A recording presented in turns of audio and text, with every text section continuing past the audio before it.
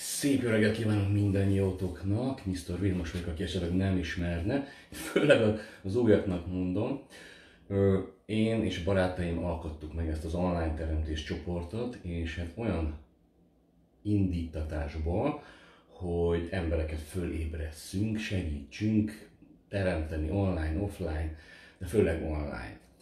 És sokan azt hiszik, hogy ez ilyen megmondó műsorsorozat, meg megmondó emberek vannak, teljesen másról van szó. Mi főleg tapasztalatokat, különböző olyan tapasztalatokat osztunk meg, ami arról szól, hogy ha valamilyen problémánk volt, akkor azt megoldottuk, és hogyan oldottuk meg, és hogy hát, ha valaki ebből tud tanulni. Tulajdonképpen erről szól az online teremtés csoport.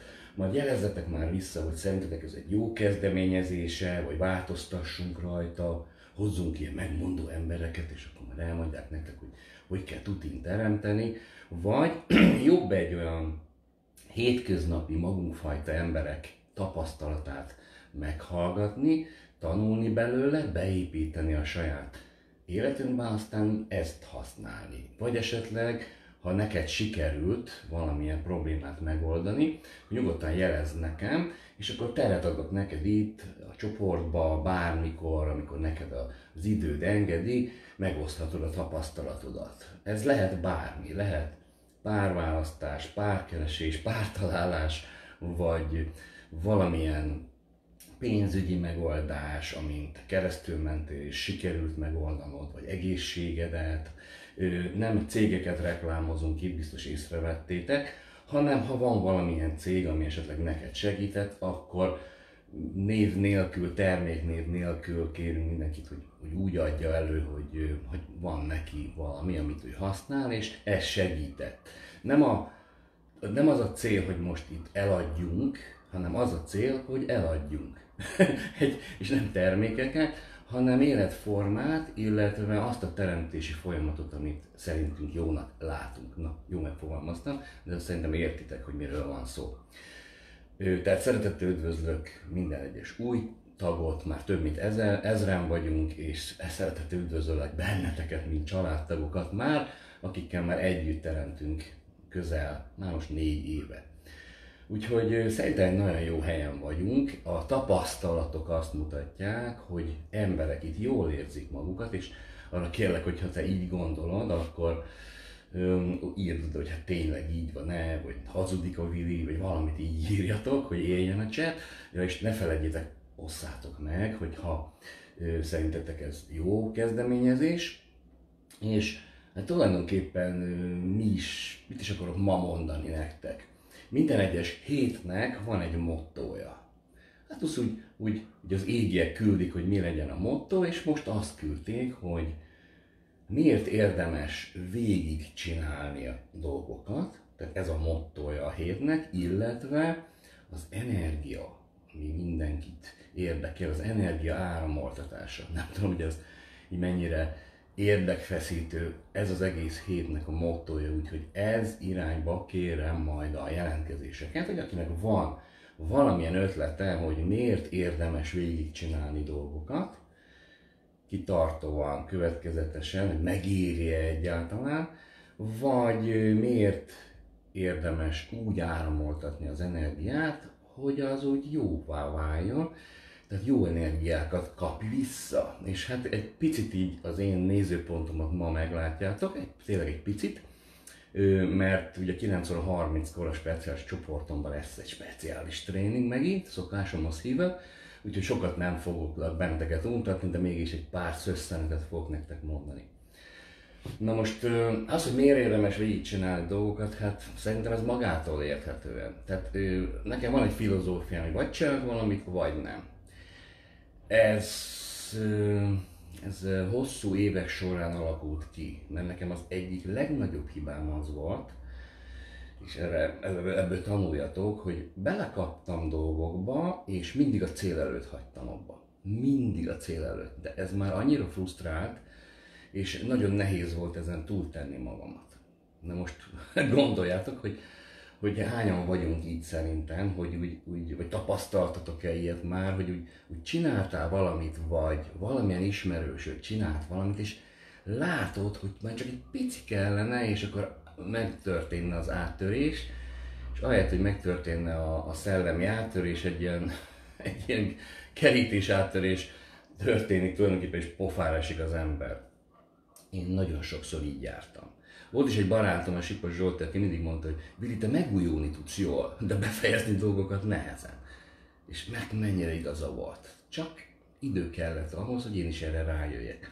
Ahogyan rájöttem, és végigcsináltam dolgokat, na onnantól kezdve jöttek az áttörések. Tehát például ez a pici dolog is, remélem már jó üzenet nektek, hogy nézzetek szét a saját házatok táján, hogy hol is vagyok én most? Tényleg beleteszem magam úgy, ahogy kellene, meg végig csinálom a dolgokat, és például végig maradok egy rendezvényen, hogy, hogy mondjuk ajándékot is kapjak meg. Hát soha vannak érdekes dolgok. Meg kell vizsgálni ezt így, így magunkban.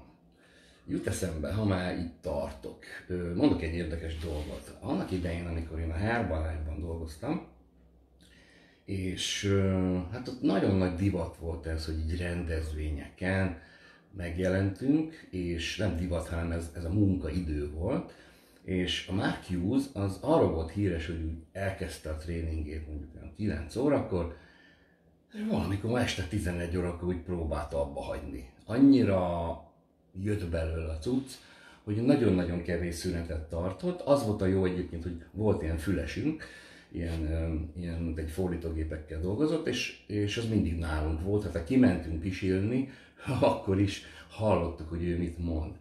De mindig úgy volt felépítve a tréningje, hogy az utolsó mondatok is olyanokat mondtak, hogy lehet, hogy épp azt alkalmazva valamit kaptunk, és mindig így volt, amivel meg lehetett durrantani a következő napokat.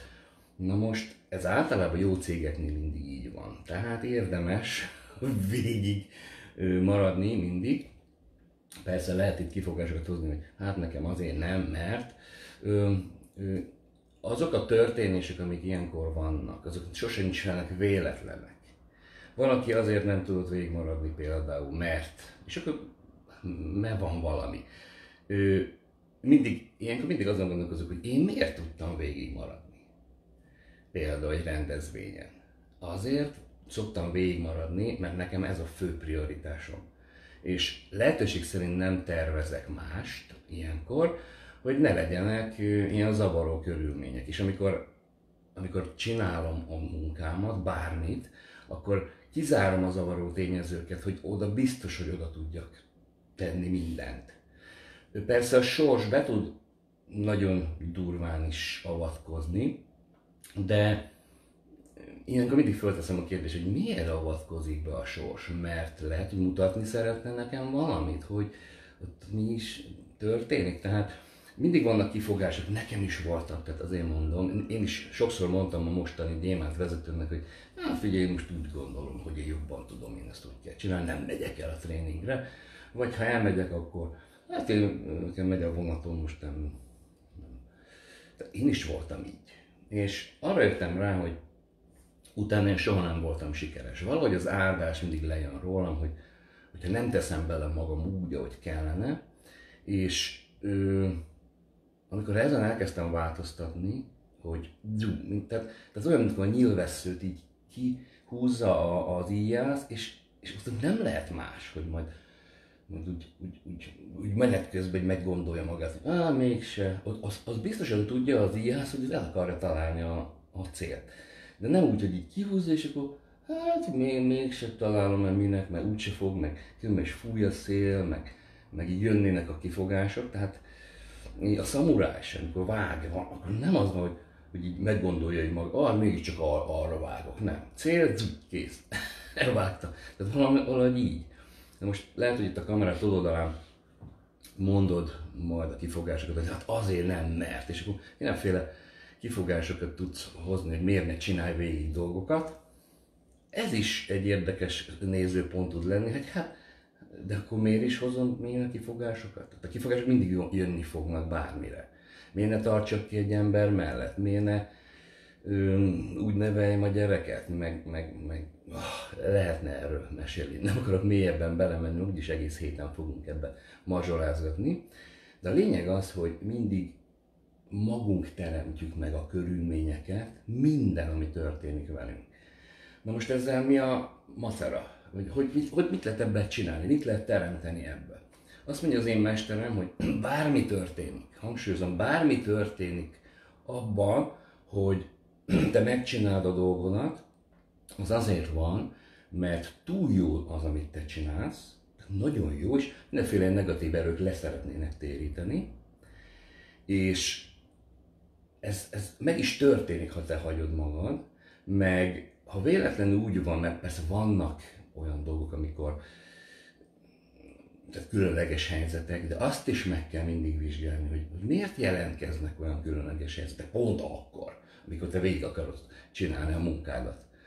Hát azért, mert az mutat neked valamit, hogy, hogy nem biztos, hogy, hogy más kéne csinálni, nem ezt kéne csinálni. Mazsolázgassatok egy picit ebbe. Tudom, hogy most par, parázsfészekben nyúltam, mert a te saját uh, intim szférádba törtem most be, és akkor hát valaki majd most morcos lesz rám, van, aki meg igen, hát tényleg így van. Nézőpont mindig. Ez is egy, egy érdekes dolog, hogy Jim Rohn képzésén voltam egyszer, és mondta Jim, hogy régen mindig igazam volt, és, és egyre kevesebb lett a barátom. Most nem mindig van igazam, sőt, nem gondolj, hogy nincs igazam, de egyre több barátom van. Azt meghallottam a Jim-től, ha, igen, igen, én is így vagyok. Mert az emberek mindig így csörtéznek egymással. Nekem van igazam, nekem, nekem. És mennek az energiai harcok. És tudjátok, miért megy a harc? És most egy kicsit átvezetem az energiára. Azért a figyelemért megy a harc. Minden egyes ellenünk lévő támadás, hogyha kaptok ilyen támadást, bármit, az azért van, mert nem figyelsz arra az emberre, akivel szeretné mondjuk teremteni, vagy ha benne vagytok valamilyen üzletbe, akkor mindig ti nyomultok. Nem várjátok meg azt, hogy rátok figyeljenek. Ö, szoktam a saját csoportomban, ugye a speciális csoportban tanítani egy olló technikát, aminek egy felső ága ugye, hogy tanulj meg úgy kommunikálni, hogy rád figyeljenek. Most ezt általában úgy el akarják az emberek, úgy izé, így, hát jó, jó ez biztos, de, de inkább úgy ráírok, és majd akkor így nyomom az energiát. Hát ez nem működik. Mert ha működne, akkor minden egyes spam írás, amit rátesznek, az, az az működne, mert rögtön belépni mindenkinek az üzletébe. Te is, hogyha odaírnál valakire, hogy jaj, figyelj, találtam valami jó dolgot, és rögtön belépnének hozzá, hát milyen szép lenne, de nem így működik. Legalábbis nálam nem. Én arra tettem fel a hangsúlyt, hogy rám figyeljenek emberek. Te is most azért vagy itt egyébként, mert rám figyelsz. Tehát adsz abból az energiából, amit, amiért mindenki harcol. A figyelem, figyelmedet kiharcoltam én. Persze vannak, akik már most eltűnnek, mert hirtelen megsértődnek, mert nem kapták meg az energiát, sőt nem képesek adni energiát, tehát nem használják a törvényt, hogy adj először, hogy kapni tudj. Adás-kapás, ezt nagyon elfelejtik az emberek. Nekem 50 évenben telt, mire erre rájöttem. Közben igyatok, mert ugye le kell menni legalább kettő ilyen üveg víznek mindenkinek, úgyhogy én is most ezt teszem.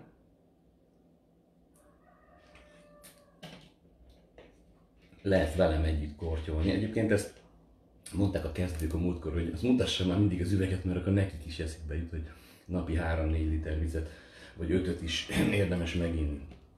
Szóval visszatérve az energiára, meg kell tanulni szerintem kivívni a tiszteletet az embereknél úgy, hogy először mi adunk. Tehát biztos látjátok, hogy én is úgy próbálom a ti energiátokat kapni, hogy adok először. Próbálok olyan információkat adni, amivel te a mindennapi életedbe tudsz valamit kezdeni, előre viszi az életedet. Csak egy picike információ például a röpke 15 percbe eljut hozzád, akkor már én adtam neked valamit, ami hogyha összeadódik reggelente, és ezért buzdítalak benneteket, hogy gyertek mindig velem egy picit reggel, vagy legalább hallgassátok ezeket a videókat, mert én nem csak a saját tapasztalataimat mondom el, hanem azoknak az embereknek a tapasztalatát is, akik megosztották ezt velem. És abból te a, majd meg fogod tudni, hogy neked mi a tuti. Tehát mi soha nem a tutit fogjuk mondani, hanem majd neked kell fölébredned, hogy mi a tuti. Tehát majd fogod ezt látni. Aki azt mondja, hogy majd én megmondom a tutit, menekülj. Tehát mindig erre buzdítalak benneteket. Az energia az, ami jól használod, és kivívod az emberek tiszteletét úgy, hogy te adsz először, és mindig adj, adj, adj többet, mint amennyit elvárnának tőled, és ne legyél erőszakos, hanem hogy adj energiát, na akkor fogod megkapni. Tehát akinek most nem megy például üzlete, csak üzenet, az azért nem megy, mert csak te akarsz. Pénzt akarok. Minél többen regisztráljanak hozzám. Nem akarok segíteni, csak, csak azt hiszed, hogy akarsz, és akkor nyomod itt a mindenféle információt. Nem. Először adj. Mert aki ad, az fog tudni visszakapni. Nem én találtam ki, ez a törvény. Úgyhogy ezzel a indítatással indítom el a hetet, tulajdonképpen felismerésre indítom a hetet, aztán hát hogyha velem vagytok, akkor így gondolom már mocorok, hogy mit kéne majd mondani a, a ti saját tréningeiteken, úgyhogy hát várom a jelentkezéseket, gyertek, csináljuk együtt, teremtsünk együtt, és nézem az órát, ó, nagyon jó vagyok, 16 percet gondoltam, és akkor 9 óra 30-kor a bronz kiképzőtáborban várlak benneteket, jó infokat hozok, meglátjátok, sziasztok!